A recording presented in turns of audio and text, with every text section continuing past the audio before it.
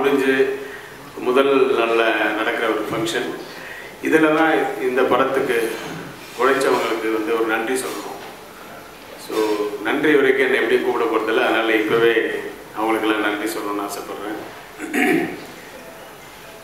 அவங்களுக்கு சொல்கிறதுக்கு முன்னாடி ஃபார் எக்ஸாம்பிளுக்கு நம்ம வீட்டுக்கு வந்து ஒரு விருந்தாளி வந்திருக்காங்கன்னா அவங்களுக்கு ஒரு காஃபி கொடுப்பா அப்படின்னு சொன்னால் முதல்ல கொண்டாந்து நமக்கு நீட்டுவாங்க. டேய் முதல்ல விருந்தாளி கொடுப்பா அப்படின்னு சொல்லுவோம். ஸோ ஒரு காஃபிக்கு அப்படின்னா ஸோ இங்கே வருகை புரிந்து நம்மளை வாழ்த்தவும் நமக்கு ஆதரவும் கொடுக்க வந்திருக்க விருந்தாளிகளுக்கு நான் முதல்ல நன்றி சொல்லணும். வந்திருக்கிற விருந்தாளிகளுக்கு சொல்கிறதுக்கு முன்னாடி இதில் இந்த ஆடியோ ஃபங்க்ஷனுக்கு கூப்பிட்றதுக்காக நான் கமல் சார் வீட்டுக்கு போயிருந்தேன். ஆஃபீஸ் போயிருந்தேன். சார் இந்த மாதிரி ஆடியோ ஃபங்க்ஷன் சார் நீங்கள் வரணும் அப்படின்னு அதான் நான் கண்டிப்பாக வந்துடுறேன். அடுத்த செகண்டே ஓகேன்னு சொல்லிட்டாரு. சொல்லிட்டு அதுக்கப்புறமா எப்போ இது அதை பற்றியெல்லாம் கேட்கவே இல்லை. படம் எப்படி வந்திருக்கு நல்லா வந்திருக்கா? அப்புறம் யார் ஹீரோயின் எனக்கு சுதீப் ஹீரோன்னு தெரியும். யார் ஹீரோயின் கேட்டார். அதுக்கப்புறமா போனார். அந்த சபாஷ் நாயுடு பற்றி பேசணும். அதுக்கப்புறமா விஸ்வரூபம் பார்ட் டூ உடைய ட்ரெய்லர் காமிச்சார். ரொம்ப பிரமாதமாக இருந்தது. அதெல்லாம் முடிச்சுட்டு கண்டிப்பாக வரேன். அப்புறமா தேதி சொல்லிடுங்க. நான் லண்டனுக்கு ஒரு ஃபங்க்ஷனுக்கு போகிறேன் அது முடிச்சுட்டு வந்தவுடனே நான் வந்துடுறேன். நீங்கள் போன வச்சுக்கங்க அப்படின்ட்டு. ஆனால் அவரால் வர முடியாத அந்த சூழ்நிலை ஆயிடுச்சு. அந்த மாபெரும் நடிகர் உலக நாயகன் சீக்கிரமாக நலம் பெற்று வீடு திரும்ப வேண்டும் என்று என்றும் மிக விரைவில் வெளியாக போகும் விஸ்வரூபம் டூ அண்ட் முழு அந்த சபாஷ் நாயுடு இரண்டுமே மிகப்பெரிய வெற்றி அடைய வேண்டும் என்றும் எல்லாம் வல்ல இறைவனை பிரார்த்தித்து அவருக்கு என்னுடைய முதல்ல என்னுடைய நன்றி சொல்கிறேன் அப்புறம் இங்கே வந்திருக்கிற தனுஷ் சிவகார்த்திகேயன் விஜய் சேதுபதி இவங்களை வந்து நான் நேரில் கூட போய் கூப்பிடல. சும்மா ஃபோனில் தான் கேட்டேன். கண்டிப்பாக வரேன் சார் எப்போ டேட்டு எப்போ டைம் அப்படின்னு கேட்டுட்டு. இன்னைக்கு ஷூட்டிங் இருந்தது கூட தள்ளி வச்சுட்டு இப்போ குறுக்க குறுக்க பேசிட்டு இருக்காங்க. நான் பேசுறது எனக்கு கேட்கவே இல்லை நீ பேசுறது தான் கேட்குது எப்போ டைம்னு கேட்டுட்டு உடனே ஒத்துக்கிட்டாங்க? அவங்களுக்கு என்னுடைய நன்றியை சொல்கிறேன் முதல்ல தனுஷ் பற்றி ஒரு ரெண்டு வார்த்தை சொல்லணும்னா தனுஷ் மிக சிறந்த ஒரு நடிகர். அது தமிழ்நாடு மட்டுமல்ல இந்தியா மட்டுமல்ல உலகம் பூரா தெரிஞ்ச விஷயம். அவர் மிக மிகச்சிறந்த தயாரிப்பாளரவும் ஆயிட்டாரு. கமர்ஷியல் படங்கள் மட்டும் இல்லாமல் அவார்ட் பிக்சர்ஸும் எடுக்கிறது. ஸோ இந்த மாதிரி மிக மிக பிற- மிக சிறந்த தயாரிப்பாளர் ஆகிட்டார் ஆனால் அவர் மிக விரைவில் சிறந்த இயக்குனராக போகிறாரு அப்படிங்கிறது எனக்குள்ள தெரியும். ஏன்னா நான் அவர் படத்தில் நடிக்கும்போது அவர் நடிப்பு மட்டும் அவர் கான்சன்ட்ரேட் பண்ணாமல் அந்த டெக்னிக்கல் பாயிண்ட்ஸ் எல்லாமே கான்சன்ட்ரேட் பண்ணி எங்கெல்லாம் எப்படியெல்லாம் ஷார்ட்ஸ் வைக்கிறாங்க இது பண்ணுறாங்க வேல்ராஜ் ஷார்ட்ஸ் சொல்லிட்டு போயிட்டாலும் அதுக்கப்புறமா அந்த ஆக்ட் பண்ணுறவங்களுக்கெல்லாம் வந்து என்ன உள் இன்புட்டு என்ன நான் என்ன சொல்ல போகிறேன் நீங்கள் என்ன சொல்ல போகிறீங்க இந்த டெவலப் பண்ணுறது அது இது எல்லாமே வந்து ஒரு இயக்குனர்களுக்கு உரிய ஒரு மிக சிறந்த இயக்குனருக்குரிய ஒரு தகுதி அவருக்குள்ளுக்குள்ளே இருக்குது அது சீக்கிரம் வெளிப்படணும் தனுஷ் வந்து சீக்கிரமாக ஒரு படம் டைரக்ட் பண்ணணும். அதுலேயும் நீங்கள் சிறந்து விளங்குவீங்க என்று என்னுடைய எனக்கு நல்லா தெரியும். எங்கள் எல்லாரும் அதை எதிர்பார்க்குறோம். ஸோ வாழ்த்துக்கள் தனுஷ் அவர்கள். நன்றி இங்கே வந்ததுக்கு விஜய் சேதுபதி பற்றி சொல்லணும்னா அவர் வந்து ஒரு இயல்பான ஒரு நடிகர். அதாவது ஒரு ஆர்டிஃபிஷியல்னஸே ஒரு கூட இருக்கக்கூடாதுன்னு ஃபீல் பண்ணுற ஒரு நடிகர். அவர் படத்துலேயும் நான் ஒரு கேரக்டர் பண்ணுறேன் அந்த படத்தில் போயிட்டு அந்த ஒரு சீன் வந்து இப்போ ஒரு ஒரு பக்கம் ரெண்டு பக்கம் டைலாக் எல்லாம் கொடுத்தா கட கட பேசிடுறாரு அப்புறம் ஒரு சின்ன டைலாக்கு ஒரு நாள் பார்த்தீங்கன்னா ஒரு அஞ்சு ஆறு டேக் எடுத்துகிட்டே இருக்காரு. அப்புறமா தலை சொல்லுறாரு போறாரு வராரு. நான் வேற ஷார்ட்ல நிற்கிறேன் என்னப்பா இது? ஒரு லைன் தானே? இது என்ன தெரியும் இல்லை சார் இது வந்து பார்த்தீங்கன்னா ஒரு அட்வைஸ் பண்ணுற மாதிரி இருக்கு. ஒரு பஞ்ச் லைன் மாதிரி இருக்கு. இந்த பஞ்ச் லைனை நான் சொன்னேன்னா அது நல்லா இருக்காது. அது இல்லாமல் அந்த பஞ்ச் லைனை எப்படி சொல்ல போனாலும் அது உள்ள ரஜினி வந்துடுறாரு.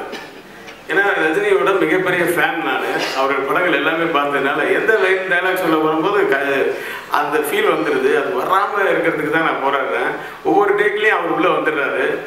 அவர் இல்லாமல் நம்ம எப்படி இயல்பாக சொல்லணும்? இது ஒரு பஞ்ச் லைன் மாதிரி சொன்னால் இதோட இவரும் பஞ்ச் அடிக்கிறாருன்ற மாதிரி ஆகிடும் அப்படின்ட்டு அந்த அந்த சின்ன லைனுக்கு கூட மெனக்கடுற ஒரு நடிகர். அவர் வந்து அப்பா அம்மா என்ன? அதெல்லாம் சொல்ல மாட்டார். பா மா நா அவர் கேரக்டரு. கேரக்டர் அதுவே அவர் அதுவே ஃபேமஸ் ஆகிட்டாரு நான் அதெல்லாம் ரசிச்சிட்டு இருந்தேன். ஸோ அந்த மாபெரும் நடிகருக்கு என்னுடைய வாழ்த்துக்கள். தேசிய விருது சீக்கிரம் பெறுவார்.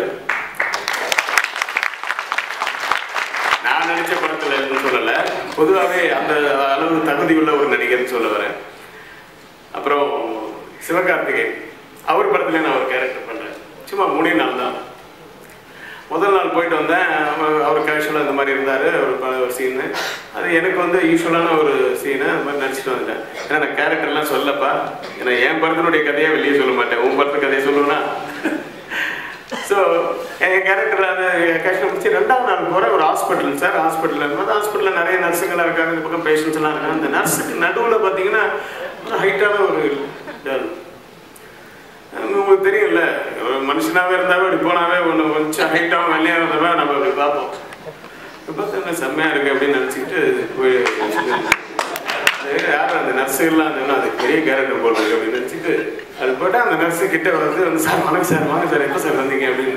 இங்கே கேட்ட வாய்ஸ் மாதிரி இருக்குன்னு அப்படி உத்து பார்த்தா சிவகார்த்திகை எனக்கு ஷாக் ஆகிட்டுறாரு நான் மூஞ்செல்லாம் தட்டி பார்க்குறேன். ஏன்னா ப்ராஸ்தட்டிக் மேக்கப் எல்லாம் போட்டிருக்காரு கமல் சார் மாதிரி. அதுவும் இல்லை. ஸோ ப்ராஸ்தட்டிக் மேக்கப்பும் இல்லாமல் ஒரு ரியல் ஃபீமேல் லுக்கு வந்து அவர் கொண்டு வரதுக்கு எவ்வளோ மெனக்கட்டுருக்காரு? எவ்வளோ நேரம் ஆச்சுன்னா நாலு மணி நேரம் ஆச்சுன்றாரு. ஸோ ப்ராஸ்தட்டிக் மேக்கப் இல்லாமல் நாலு மணி நேரம் மேக்கப் போட்டு கஷ்டப்பட்டு அந்த அதாவது இது எல்லாமே கே பார்த்தீங்கன்னா இவங்கெல்லாம் ஒருத்தர் மேலே வந்திருக்காங்கன்னா அவங்க ட்ரெஸ் பாயிண்ட்ஸ் வந்து அவங்களுடைய உழைப்பு அந்த கான்சென்ட்ரேஷன் அதுதான். ஸோ அது நிறைய இருக்குது அவர் ஏற்கனவே படிப்படியாக உயர்ந்துட்டு வர்றாரு. தனுஷ் சார் படத்துலேருந்து ஒரு டப்புன்னு ஒரு எகிர் எகிரினாரு. அவர் ப்ரொடக்ஷனில் அதுக்கப்புறம் அதுக்கு அடுத்த ஸ்டெப் என்ன அடுத்த ஸ்டெப் என்னன்னு தான் பார்த்துட்டு இருக்காரு. அதுக்கு கான்சன்ட்ரேட் பண்ணிட்டு இருக்காரு. அவருக்கும் என்னுடைய நன்றி. இங்கே வந்து என் ஃப்ரெண்டு கேட்டான் இந்த இன்விடேஷன் பார்த்துட்டு ஓ நீ மூணு பேர் படத்தில் நடிக்கிற அதான் கூப்பிட்டோன்னா வந்துட்டாங்களா? அப்படின்னா ஏன் அவங்கள மட்டும் கூப்பிட்டேன்? அப்படின்னா நான் சொன்னேன் நான் நடிக்கிறதுனால கூப்பிடலப்பா. நான் நடிக்கிறனால நான் கூப்பிட்டா வருவாங்க அவங்க. ஆனால் அவங்க மூணு பேரை நான் எதுக்கு செலக்ட் பண்ணேன் அப்படின்னா அவங்களுக்கு தெரியணும்ல. நான் ஃபுல் டைம் நடிக்கிறனால நான் இன்னும் டைரக்ஷன் விடலைன்னு அவங்களுக்கு தெரியணும்ல. இன்னும் டைரக்டராகவும் இருக்கேன் அப்படிங்கிறது அவங்களுக்கு தெரியணுன்றதுக்காக தான் அவங்க மூணு பேரையும் கூப்பிட்டேன் அப்படின்னு சொன்னேன். யாரும் விட்டுறக்கூடாதுன்றதுக்காக சில பேர்களை நான் எழுதி வச்சிருக்கேன்.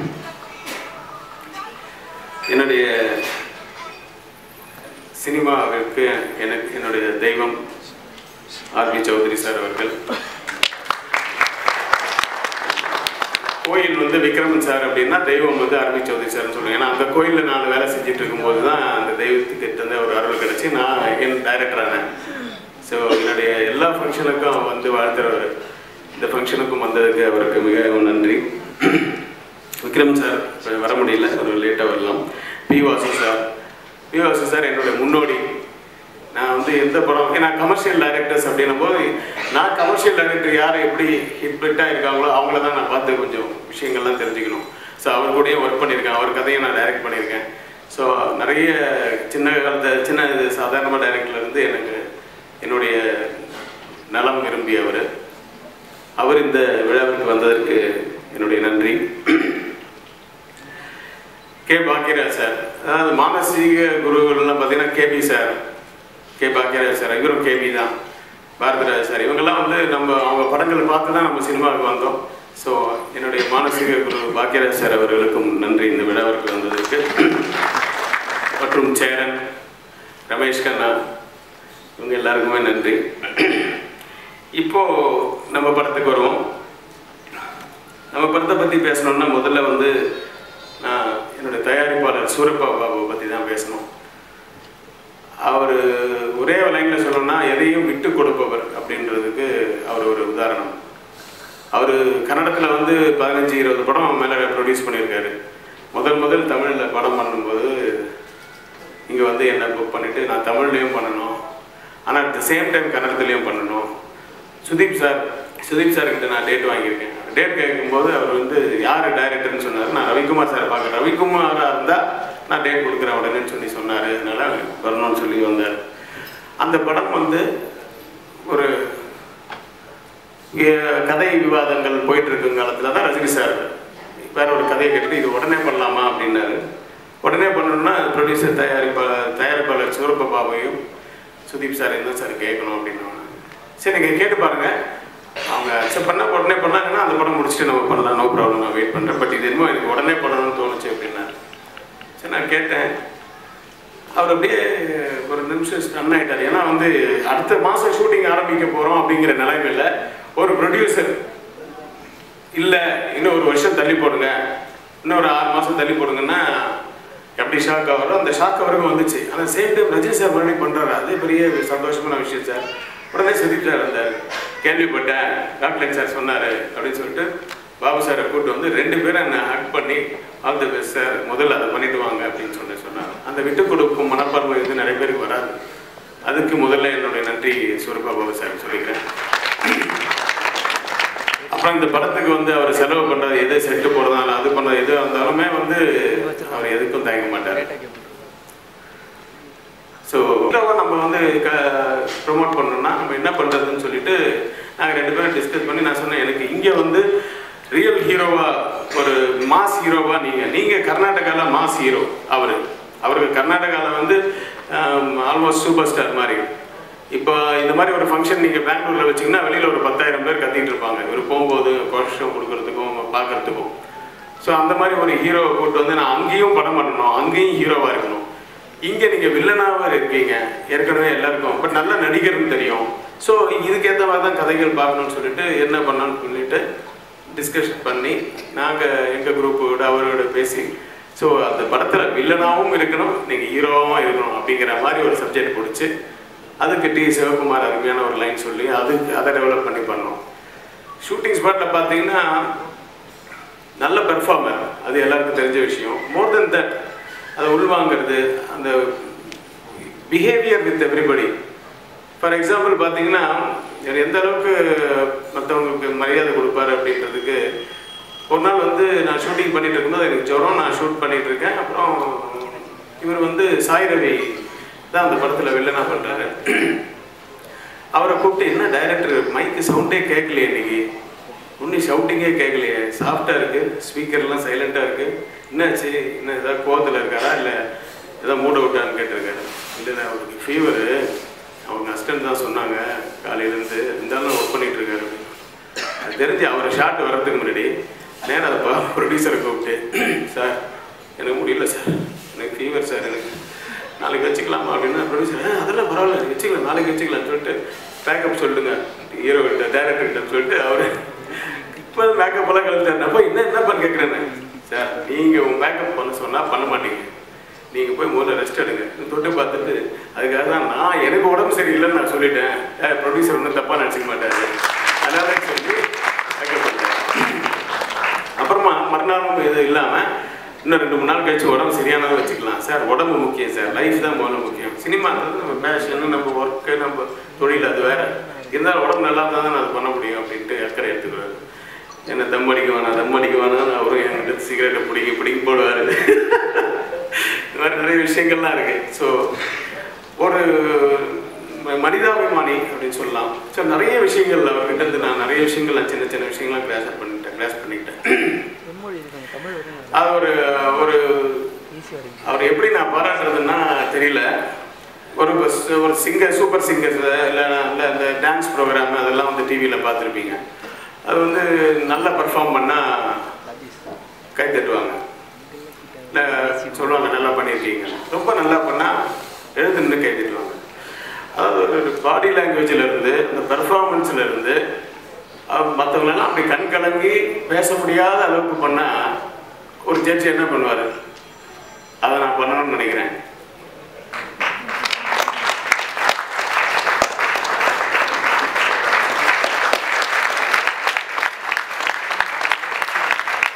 அவர் தமிழில் ஒரு வளம் வர போகிறாரு அவரை நல்லா யூஸ் பண்ணிக்கலாம். Is a directors artist Nithya Menen எல்லாருக்கும் தெரிஞ்ச விஷயம். அவங்க மிக சிறந்த நடிகை. ஒரு கதையை வந்து ஒத்துக்கிறாங்க அப்படின்னாவே அவங்களுக்கு பிடிச்சிருக்கணும். அந்த கேரக்டர் அவங்களுக்கு ஹீரோயினுக்கு இம்பார்ட்டன்ஸ் இருக்கணும். அந்த கதை நல்லா இருக்கணும். அதில் ஏதாவது வித்தியாசமாக இருக்கணும் அப்படின்னா தான் அவங்க ஒத்துப்பாங்க. அப்படின்னு கேள்விப்பட்டு தான் நான் கதையை சிவகுமார்கிட்ட சொல்ல சொன்னேன். கதையை கேட்டு கண்டிப்பாக நான் பண்ணுறேன்னு சொல்லிட்டு டேட்ஸ் கொடுத்துட்டாங்க. அவங்களும் வந்து ஒரு வெரி குட் பர்ஃபார்மர் மட்டும் இல்லை. She's a very nice girl அவங்க வந்து அவங்க வேலையை உண்டுன்னு சொல்லிட்டு இப்போ படிச்சுட்டு அந்த ஷார்ட் ரெடினா அது எப்படி தான் அது உள்ளுக்குள்ள கேரக்டருக்குள்ளே வருவாங்களோ அது தன்னை தயார்படுத்திட்டு வருவாங்க. ஸோ அவங்களுக்கு என்னுடைய நன்றி. நாசர் சார் வரல. நாசர் சார் இங்கே வெள்ளம் மழை அப்போ அங்கே பெங்களூருக்கு வரணும் எப்படி வர போகிறாருன்னா ஃப்ளைட்டு கேன்சல் அது கேன்சல் அவர் தனியாக அவர் கார் எடுத்துக்கிட்டு அவர் இங்கேருந்து அங்கே வந்து நடிச்சு கொடுத்துட்டு அதுக்கப்புறம் நாங்கள் ரெண்டு பேருமே நான் அவர் காரில் ஏறி உள்ள அங்கே மெட்ராஸுக்கு வந்து அந்த வெள்ளத்தில் எங்கள் வீட்டில் இருந்து எல்லாமே ஆஃபீஸ்லேருந்து எல்லாமே வெள்ளத்தில் மறந்துட்டு இருக்கு எல்லாம் போட்டில் போகிறாங்க அவர் காரில் தான் நான் வந்து எங்கள் வீட்டுக்கெல்லாம் விட்டு ஸோ அப்படி ஒரு நல்ல மனிதர் மட்டும் இல்லை சிறந்த நடிகர் அவருக்கு என்னுடைய நன்றி. பிரகாஷ் ராஜ். பிரகாஷ் ராஜ் வந்து பத்து நாள் டேட் வாங்கணும் அவர் எட்டு நாள்லேயே முடிச்சிட்டாரு. எட்டு நாள்லேயே முடிஞ்ச கேரக்டர் பண்ணோம்னா அவர் ப்ரொடியூசர் என்ன சார் பத்து நாள்லாம் சம்பளம் பேசி கொடுத்துருக்கு நீங்கள் எட்டு நாள்லேயே முடிஞ்சிச்சுட்டாரு போறேன்றாரு அவர் அப்படின்னு அவர் கேட்டால் ஆமாம் உங்கள் டைரக்டர் ஃபாஸ்ட்டாக இருந்துட்டு அவர் சொல்லிட்டாரு. நான் இவர்கிட்ட சார் அவர் என்ன சார் கன்னடம் தமிழ் எந்த லாங்குவேஜ் கொடுத்தாலும் எல்லாமே ஒரு டேக்கில் பண்ணுறாரு நல்லா சீக்கிரம் முடிஞ்சிச்சு அப்படின்னு சொல்லி. ஸோ அப்படிப்பட்ட ஒரு மாபெரும் நடிகர் இந்திய அளவில் அவருக்காக கால்ஷீட்டுக்காக வெயிட் பண்ணுற ப்ரொடியூசர்ஸ் தான் நிறைய டைரக்டர்ஸ் தான் நிறைய. அவருக்கு என்னுடைய நன்றி. சாய் ரவி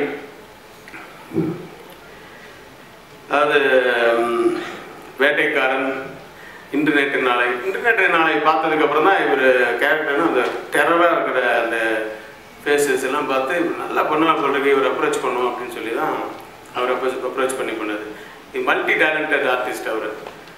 அவர் இங்கே தமிழ் தான் பட் இருந்தாலும் எல்லா லாங்குவேஜ்லேயும் அவரும் பண்ணி அவருக்கு அவர் இந்த அளவுக்கு வளர்ந்ததுக்கு காரணம் சுதீப்னு சொல்லலாம்.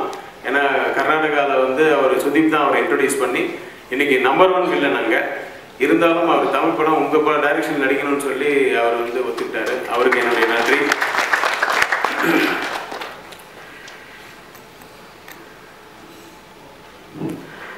சதீஷ் இமான் அண்ணாச்சி. இப்போ இவங்க பிரகாஷ் ராஜன் நாசர் மட்டும்தான் கன்னடத்துக்கும் சரி தமிழுக்கும் சரி எல்லாம் தெரிஞ்ச முகங்கள் எல்லா இடத்துலையும் ஃபேமஸ் அவங்க. ஸோ சதீஷ் இங்கே போடும்போது அங்கே சிக்கன் தான் ஒரு கேரக்டர் போட்டோம். அவர் தான் அங்கே சந்தானம் மாதிரி. இங்கே அடுத்த சந்தானம் இவர் தானே? அதனால் இவரை போட்டு ஸோ சந்தானம் விவேக் அந்த ஒரு அந்த லைனில் வந்து பல பல முன்னேறி வந்து கொண்டிருக்கும் சதீஷ் அவர்களுக்கு. என்னுடைய நன்றி. வெரி குட் டைமிங் சென்ஸ் அவருக்கு. அவர் இமான் என்னாச்சு? அதாவது இந்த படம் வந்து கோயம்புத்தூரில் நடக்கிற மாதிரி ஒரு கதை. ஆனால் இமான் அண்ணாச்சிக்கு கோவை பாஷை கொடுத்தவொடனே எனக்கு எனக்கே காமெடியாக இருக்கு. ஸோ இதுக்கு நம்ம கன்னடம் பேசுகிறேன் அவங்களே போட்டுடலாம் போல இருக்கு அப்படின்ற அந்த அளவுக்கு வந்து குழப்பி பேசுகிறாங்க வேணானே கோயம்புத்தூரில் கூட திருநெல்வேலிக்காரங்க இருப்பாங்க. நீங்கள் உங்கள் பாஷையிலே பேசுங்கன்னா அப்படி போடுங்க அப்படின்னு சொல்லி அவர் திருநெல்வேலி பாஷையை அவர் பேச வச்சுட்டோம். அவருக்கு என்னுடைய நன்றி. சாது கோகிலான்னு ஒரு ஆர்டிஸ்ட் அவரை பற்றி சொல்லி ஆகணும். அதாவது இரநூறு முந்நூறு படத்துக்கு மியூசிக் டைரக்டர் ஒரு பதினஞ்சு இருபது படம் டைரக்ட் பண்ணியிருக்காரு. அது இல்லாமல் number one comedian in Karnataka. இவ்வளோ பெரிய ஆளுன்னு வந்தால் நம்ம அவருடைய வாய்ஸ் அவருடைய லுக் எல்லாமே நம்ம கவுண்டமணி செந்தில் மாதிரி இருந்தார் செந்தில் ஸ்டைலில் சரி அவருக்கு மட்டும் நான் தமிழில் வேறு ஆர்டிஸ்ட் வேணாம் சார் நீங்களே தமிழ் ஏன்னா அவரும் நல்லா தமிழ் பேசுகிறாரு அவர் இங்கே வளர்ந்து பிறந்து வளர்ந்தது எல்லாமே இங்கே தான் ஸோ அவரும் நல்லா தமிழும் பேசுகிறாரு அப்புறம் எதுக்கு இதுக்கு தமிழ் ஆர்டிஸ்ட் ஒன்று வேணும்னு சொல்லிட்டு ஸோ தமிழுக்கு போடாமல் அவர் தமிழுக்கும் அவரை நாங்கள் ஃபஸ்ட் டைம் என் படத்தில் இன்ட்ரடியூஸ் பண்ணது நான் பெருமையாக நினைக்கிறேன். அந்த அளவுக்கு ஒரு டேலண்டட் ஆர்டிஸ்ட் டேலண்டட் மேன் அவர் இது மாதிரி நிறைய பேர் இருக்காங்க. சாது கோகில மாதிரி நிறைய தபலா நானி அவங்கெல்லாம் நிறைய பேர் இருக்காங்க. எல்லாருக்கும் நன்றி. டெல்லி கணேஷ் சார் கேட்கவே வேணாம். இங்கே டெல்லி கணேஷ் சார் பண்ணார். அங்கே தேவராஜன் ஒரு ஹீரோ பழைய ஹீரோ அவர் அந்த கேரக்டர் பண்ணார் கன்னடத்தில். இங்கே தமிழில் டெல்லி கணேஷ் சார் பண்ணுறாரு இதில் டெல்லி கணேஷ் சார் வந்து உங்களுக்கு தெரியும். வேலைகளை பார்த்துட்டு அந்த ரியாக்ஷன் அவருடைய புன்னகையிலையும் சரி அவருடைய அழுகையிலையும் சரி எல்லாமே வெறும் ஃபேஸ் ரியாக்ஷன்லேயே காமிச்சிட்டு போகிற ஒரு கேரக்டர் நிறைய படங்கள் என் கூட நடிச்சிருக்காரு. இந்த படத்துக்கும் என்கிட்ட என் கூட வந்து ஒர்க் பண்ணதுக்கு ரொம்ப நன்றி டெலிகணேஷ் சார் மற்றும் நிறைய பேர் இருக்காங்க இந்த படத்தில். இதில் ச சுதீப் சார்ட்டை பற்றி ஒன்று சொல்லணும்னா முதல்ல முதல் நாள் ஷார்ட் எடுக்கும்போது நான் வந்து ஃபஸ்ட்டு நீங்கள் வந்து கன்னடம் பண்ணுறீங்க சார். கன்னடம் டைலாக் அவங்க என்ன பேசுகிறாங்க எது பேசுகிறாங்க எதுவுமே எனக்கு புரியாமே இருந்தது. இதை இவர் பார்த்துட்டாரு. பார்த்துட்டு ஓகேவா சார்னா நான் வந்து என் ஹஸ்டர் கேட்குறேன் இப்போ உனக்கு கன்னடம் தெரியுமா? ஓகே தான் நம்ம டைலாக்லாம் கரெக்டாக வந்துச்சுன்னா அந்த ரியாக்ஷன்லாம் மாறி மாறி வருது. நம்ம டைலாக் இதுதானே இதுதானே கன்னடத்தில் பேசுகிறாங்க இல்லை வேறு ஏதாவது பேசுகிறாங்களா வந்து சுதீர் சார் வந்து இனிமேல் எல்லா ஷாட்டுமே ஃபஸ்ட்டு தமிழ் எடுத்துருவோம். தமிழ் எடுத்ததுக்கு அப்புறம் தான் கன்னடம் எடுக்கணும் ஸோ தட் உங்களுக்கு அதுக்கப்புறம் வந்து நான் தமிழ் எடுத்ததுக்கு அப்புறமா அந்த ரியாக்ஷன்லாம் கன்னடத்துலேருந்து வரும்போதே நான் தெரிஞ்சு ஸோ இப்படியே நான் கொஞ்சம் கொஞ்சமாக கன்னடம் தெரிஞ்சுக்கிட்டேன். ஸோ எனக்கு கன்னடம் கருத்து கற்றுக் கொடுத்தவரே இப்போ சுதீப் சார் தான் அப்படின்ட்டு ஸோ அது விட்டு கொடுக்கும் அந்த இது அதாவது அவருக்கு வந்து எப்பவுமே ஒரு ஆர்டிஸ்ட் வந்து அந்த லாங்குவேஜில் பண்ணும்போது அதனுடைய பவரே ஜாஸ்தி. அது நம்ம இன்புட் நிறைய உள்ளது வரும். அது வந்து அவர் கன்னடத்தில் பண்ணாமல் முதல்ல தமிழ் பண்ணிட்டு அந்த டைலாக் அப்படியே நீங்கள் டிரான்ஸ்லேட் பண்ணுங்க. நீங்கள் எதுவும் பண்ணாதீங்கன்னு சொல்லிட்டு கன்னட ரைட்டர்கிட்ட சொல்லி அந்த டைலாக் என்னோட டைலாக் அப்படியே வந்து கன்னடத்தில் டிரான்ஸ்லேட் பண்ணி பண்ணது தான் கன்னட கன்னடத்தில் அந்த படம். கோட்டி கோப்பான்னு கன்னடத்தில் என்னுடைய டைட்டில்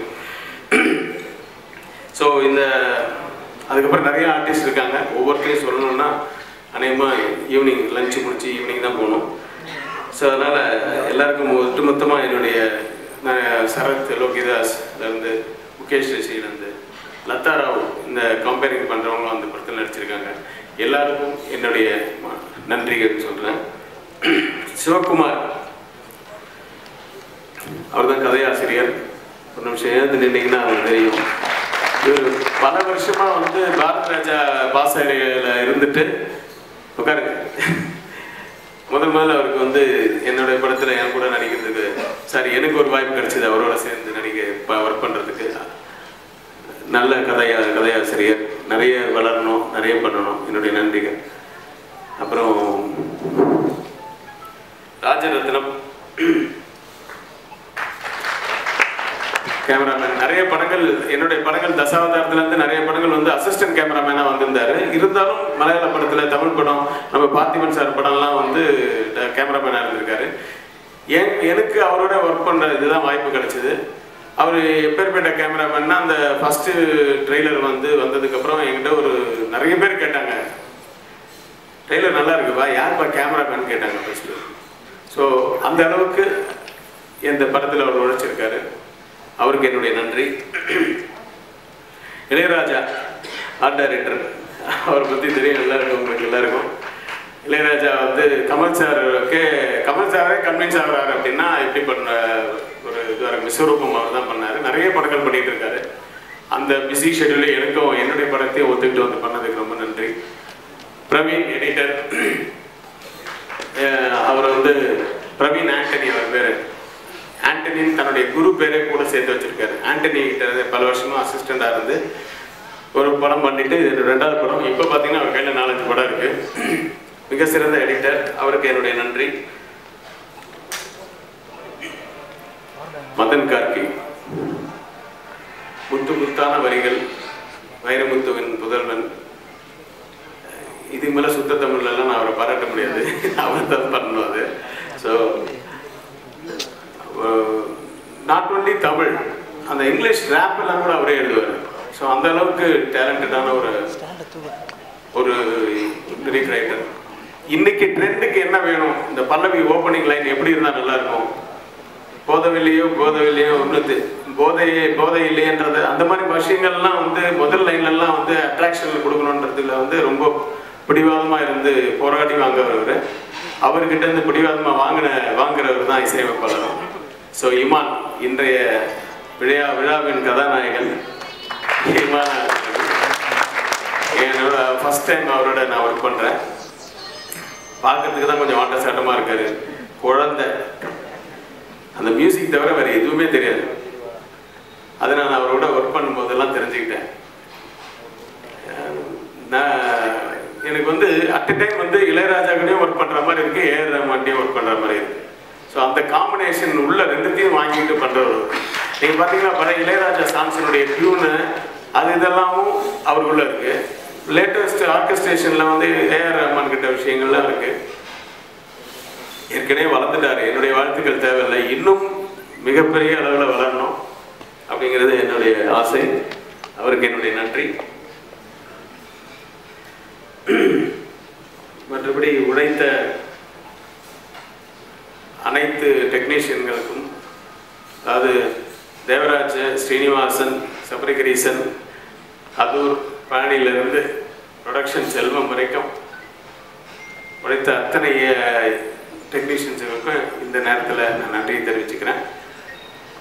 கடைசியாக last last but not least மீடியாவுக்கு என்னுடைய நன்றிகள். உங்களை வருக வருக நான் வரவேற்கிறேன். மீடியான்னா பத்திரிகைகள் இன்டர்நெட் மீடியா எல்லாருக்கும். இவங்க மீடியாவுக்கு நான் வச்சுக்கிற ஒரே ஒரு வேண்டுகோள் தான் மீடியானா அதாவது இந்த படம் ரிலீஸ் வரைக்கும் நண்பர்களாக இருக்காங்க. ரிலீஸ் அணிலேருந்து அதில் ஒரு twenty five percent thirty percent எதிரி ஆயிடுறாங்க அதாவது ஒரு நான் என் படத்தை பற்றி மட்டும் பேசவில்லை. நிறைய படங்களை வந்து அவங்க விமர்சனம் பண்ணுறதெல்லாம் பார்த்தீங்கன்னா ரொம்ப கஷ்டமாக இருக்குது அது அவங்களுடைய தனிப்பட்ட கருத்து. நான் அவங்கள பண்ண வேணும்னு சொன்னேன். நல்லது கெட்டதை சொல்கிறதுக்கு எல்லாருக்குமே உரிமை இருக்குது ஏன்னா இது நான் பொது ஜனத்துக்கு தானே கொண்டு போய் சேர்க்குறோம் அந்த படத்தை. ஸோ உங்களுக்கு எல்லா உரிமையும் இருக்குது ஆனால் அதை முடிக்கும் போது அந்த இது அந்த இன்டர்வியூ முடிக்கும் போது அந்த விமர்சனத்தை முடிக்கும் போது இது என்னுடைய தனிப்பட்ட கருத்து. ஒரு சிலரோட கருதியாக கருத்தாக இருக்கலாம். ஆனால் பல பேருக்கு இது பிடிச்சிருக்கலாம் இந்த படம். நான் சொன்னது இதெல்லாம் வந்து பிடிச்சிருக்கலாம். நான் நல்லா இருக்குன்னு சொன்னதெல்லாம் பிடிக்காம போகலாம். அது வந்து அவங்களோட விருப்பம். அதனால் வந்து தயவுசெய்து இந்த படத்தை வந்து போய் பாருங்கள் தேட்டரில் போய் பாருங்கள் அப்போ தான் சினிமா வளரும். நன்றி வணக்கம் அப்படின்னு சொல்கிறது தப்பு இல்லையே. அதுதான் நான் வேண்டி வேண்டுகோளாக வச்சுக்கிறேன். நன்றி வணக்கம்